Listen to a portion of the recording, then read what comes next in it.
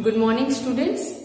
I hope you all are well. So I hope you also have completed your exams very well. And before the exams we have started our new chapter that is chapter number 8 the nervous system. And in this system we have learned about the major parts of the nervous system are brain, spinal cord and the nerves. After that we have discussed about the uh, brain and it is the central controlling unit of our body and the different parts of brain are cerebrum, cerebellum and the medulla oblongata. In that we have discussed that cerebrum is the largest part of the brain and uh, after this there is a cerebellum. Below to this at the back side of the brain there is a medulla oblongata, medulla oblongata which is known as the stem of the brain and it connects the spinal cord to the brain. After that we have discussed about there are three different types of nerves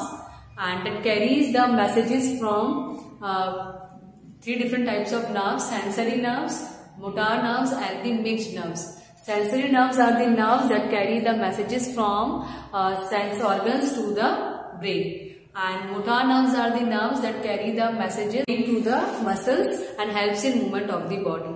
The next is the mixed nerves that carry the messages from brain to the spine, uh, brain to the different parts of the body and from different parts of the body to the brain. So uh, the third structure or the third main part of the uh, nervous system is spinal cord that helps in connecting the brain to the different nerves present in our body. So today we will discuss about the reflex action.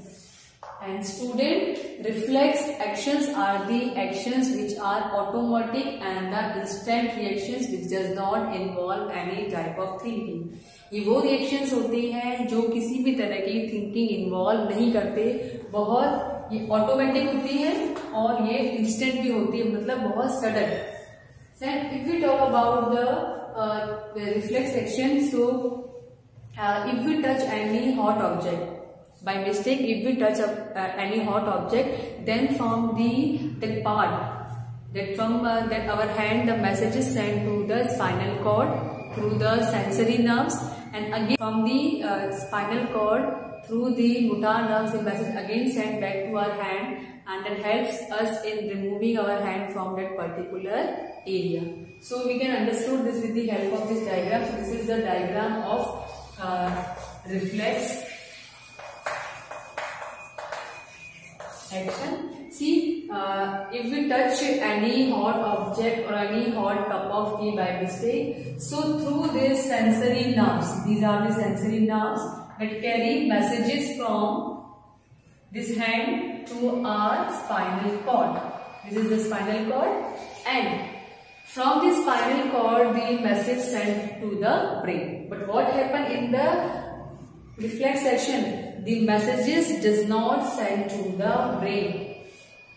The message again from the spinal cord or the instruction again from the spinal cord sent back to the hand through the motor nerves to remove our hand or our finger from that particular hot glass and protect our hand.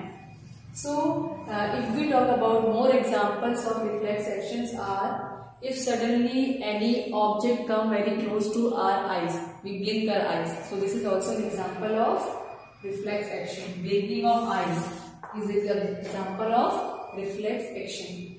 If suddenly sneezing or coughing starts, something enters into our mouth or something enters into our nose, so this coughing, suddenly coughing and suddenly sneezing is also an example of reflex action.